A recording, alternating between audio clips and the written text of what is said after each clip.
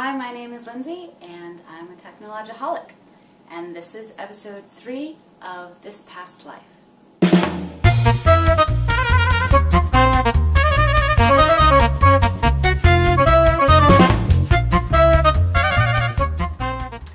So I am now in um, my third day, episode three, and uh, my second full day.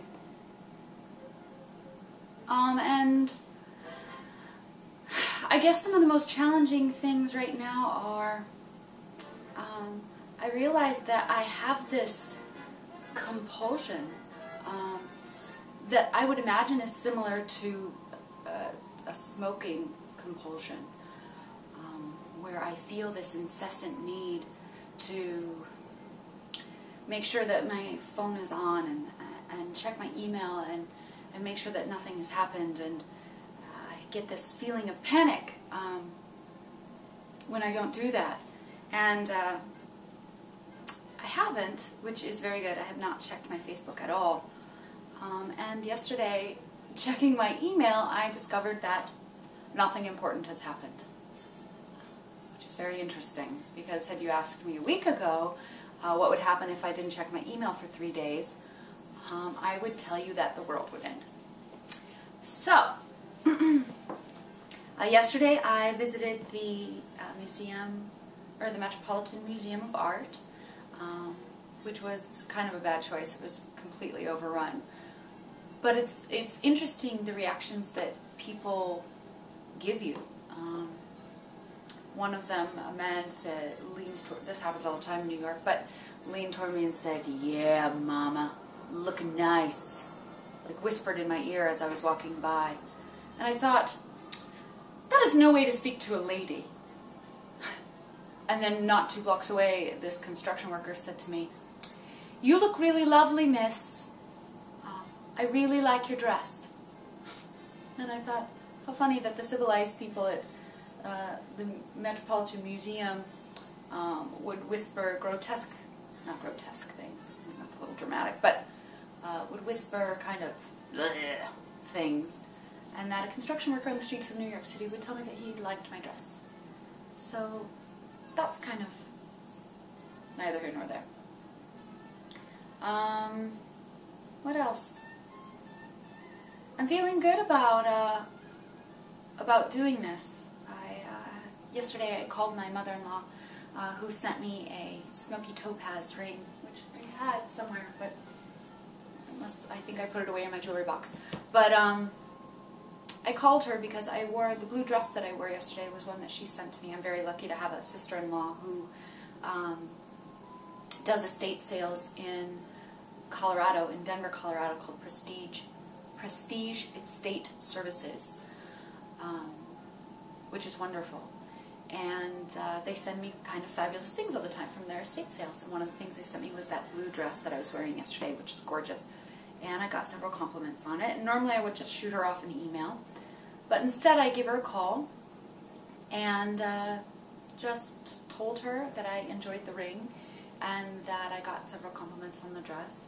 And she was really happy, um, which was kind of neat to feel like not only that she took my call, so took the time out of her day and the energy to answer my call, but um, just to call and tell someone something that pleases them and to hear their voice. There's something different about that. Um, this evening I am going to uh, a movie at the Museum of the Moving Image, which is a fabulous museum in New York City if you haven't been before. Uh, it's out in Queens, so not a lot of people, um, I mean a lot of people know about it, but uh, it's definitely one of the lesser known greater museums in New York City. Um, but I'm going to see Damsels in Distress, um, which I'm really excited about seeing. Um, I'm started a group called Cinema Coterie. Uh, a couple months ago, this would be our first event, although I think I may be going by myself, um, where it's people who are want to dress up and uh, attend the cinema like it used to be, like it was an event out in itself. Um, because it's getting so expensive nowadays, it is an evening out, an expensive evening out. So um, that is what I'll be doing tonight. And um, I'm feeling like a, uh, there's a creative, there's something happening. Um, I realize all of the energy and time and focus that I push towards my computer is is free now, is uh, doesn't know where to go. So I'm having all these great creative things happen, and I started doing the uh, the drawings for the title card for this, and a little drawing of Elle says. Oh yeah, by the way, I think I'm going to call myself Elle Gore from now on. So when I greet you tomorrow and I say, hi, this is Elle Gore, uh, you'll know what I'm talking about. Um, yes, uh, my creative creativity is freed, and um, I just feel like I can breathe again, um, which is great, even with with the kind of panic that's happening about the whole loss of technology. So, I think that's everything for today. Um, I contacted one of my friends about possibly doing like a old-fashioned exercise program that I'd like to share with, with you guys, which could be fun. And uh, this evening, uh, before the movie, I'm possibly going out meeting with some friends um, who I just told about this and assumed that they knew because of Facebook and didn't, which is an interesting thing because you just assume everybody knows everything that's going on in your life. And it's kind of fun to feel like I have that back to be able to share with people as I choose. So things are looking good here. And uh, hopefully I'll have something exciting to share. I didn't do my glove project, although I have my gloves here, some of my gloves. I'm trying to wear gloves every day because I have a bunch from my, uh, my sister and mother-in-law. So I think that's everything.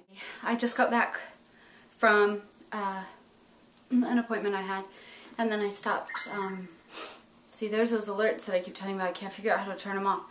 Um, I just got back from getting supplies uh, to make sweater clips, which I'm going to do a tutorial on probably tomorrow. But um, I just had to share something with you because I had the most extraordinary thing happen. Not the most extraordinary, but a pretty beautiful thing happened to me on the subway. There was a woman um, on the 345, or no, 330 Uptown 6 train stopping at um, a, an express stop. And um, as we were riding the train, uh, she had these really beautiful earrings on. She was in scrubs and had a cute headband with um, tulle and pearls on it. And um, she's just very quiet. Had a great necklace, you know.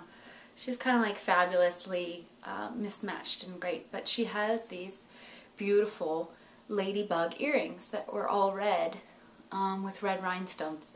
And I kept looking at them and, and um, about a stop away from where I get off, I tapped her on the arm and I said, I just have to tell you those are really, those are beautiful earrings and I can't stop looking at them. And she said, oh, thank you, and kind of didn't uh, respond much. And then right before my stop, um, she waves at me and she held out her hand and had these earrings in it. And um, I said, no, I couldn't possibly. And she shook her head and just dropped them right in my bag. And uh, I thought that was really kind of wonderful that she did that. Um, part of the reason that I started this project was because I was feeling very lost and had kind of lost a little bit of faith in uh, in humanity, in relationships, and um, just things being good. And uh, just some woman on the train doing something that was so simple um, made me remember why I live here, why I love New York. There's my landline.